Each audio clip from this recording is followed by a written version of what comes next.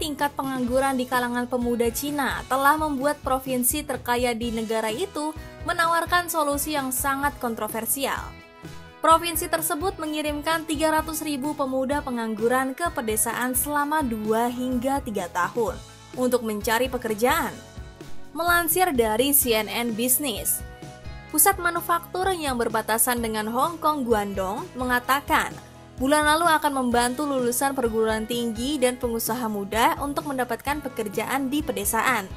Hal itu juga mendorong pemuda pedesaan untuk kembali ke pedesaan untuk mencari pekerjaan di sana.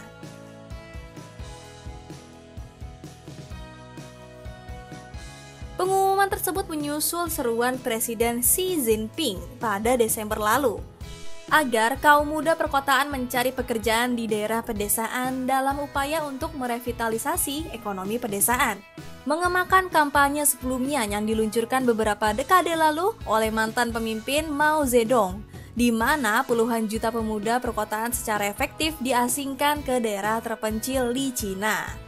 Adapun rencana Guangdong yang disorot secara luas di media sosial bertepatan dengan tingkat pengangguran perkotaan di antara usia 16 hingga 24 tahun yang melonjak menjadi 19,6 persen. Ini tingkat tertinggi kedua dalam catatan.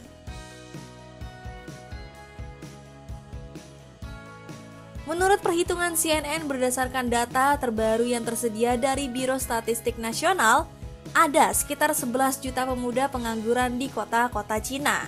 Adapun demikian tingkat pengangguran kaum muda diprediksi dapat meningkat lebih lanjut karena jumlah rekor 11,6 juta mahasiswa akan lulus tahun ini dan mencari pekerjaan di pasar yang sudah ramai.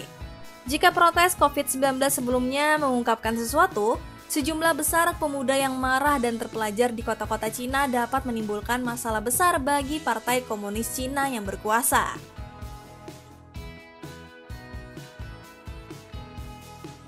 Menyebarkan mereka ke desa-desa yang lebih kecil di pedesaan dapat mengurangi resiko ini dan mungkin membantu mengurangi kesenjangan pendapatan antara kota-kota tingkat 1 dan 2 Cina dan daerah-daerah miskin di negara itu. Meningkatnya pengangguran di kalangan kaum muda sebagian besar merupakan akibat dari perlambatan ekonomi Cina kebijakan COVID yang kejam dari pemerintah yang sekarang sudah tidak berlaku memukul pengeluaran konsumen dan memukul bisnis kecil dengan keras dalam tiga tahun terakhir. Tindakan keras terhadap peraturan di internet, real estate dan perusahaan pendidikan juga merugikan sektor swasta yang menyediakan lebih dari 80% pekerjaan di Cina.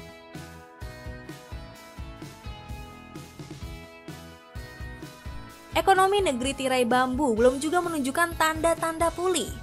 Padahal banyak negara yang mengharapkan ekonomi negara yang dipimpin Presiden Xi Jinping ini pulih untuk membantu mendorong pertumbuhan global.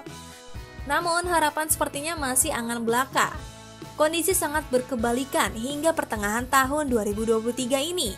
Cina masih menghadapi berbagai masalah dari sisi ekonomi, di mana belanja konsumen lesu, Pasar properti dilanda krisis, ekspor lesu, rekor pengangguran kaum muda dan utang pemerintah daerah yang menjulang tinggi.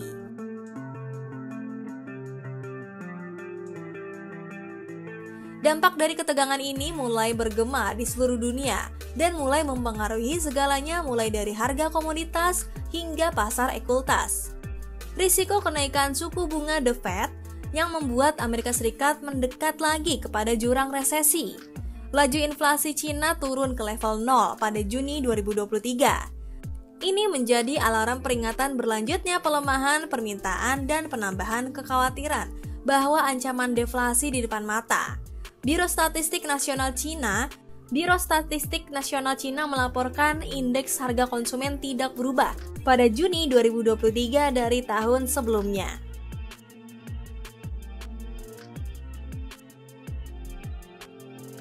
Rumah tangga di Cina mulai menunjukkan tanda-tanda balance sheet recession, yakni keinginan untuk melakukan menabung atau membayar utang, tetapi enggan untuk meminjam dan berbelanja. Data ini menunjukkan bukti bahwa pemulihan ekonomi tengah kehilangan momentum. Istilah balance sheet recession memang dikeluarkan oleh Richard Ko melihat kondisi ekonomi Jepang pada era 1990-an.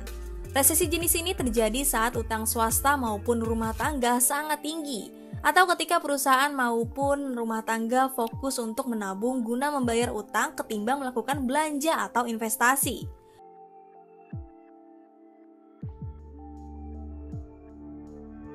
Hal ini membuat perekonomian perlahan-lahan mengalami penurunan. Ekonomi Cina melesat pada kuartal 1 tahun 2023, melebihi ekspektasi pasar. Ekonomi Tiongkok tumbuh 4,5% pada tiga bulan pertama tahun ini, Pertumbuhan tersebut lebih tinggi dibandingkan ekspektasi pasar sebesar yang berada di angka 4% dan di atas kuartal 4 tahun 2023 yang tercatat 2,9%.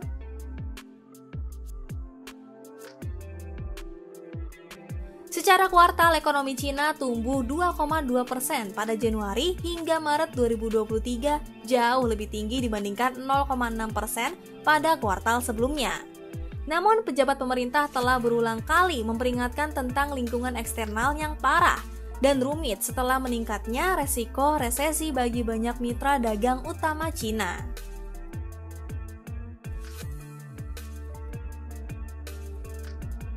Pengangguran kaum muda di Cina meningkat ke rekor tertinggi. Lulusan perguruan tinggi terjebak dalam badai yang sempurna dengan beberapa dipaksa untuk mengambil pekerjaan bergaji rendah atau menetap untuk pekerjaan di bawah tingkat keahlian mereka. Data resmi menunjukkan pengangguran perkotaan di antara usia 16 sampai 24 tahun di Cina mencapai rekor 20,4% pada April 2023. Sekitar empat kali tingkat pengangguran yang lebih luas, bahkan ketika jutaan lebih mahasiswa diharapkan lulus tahun ini.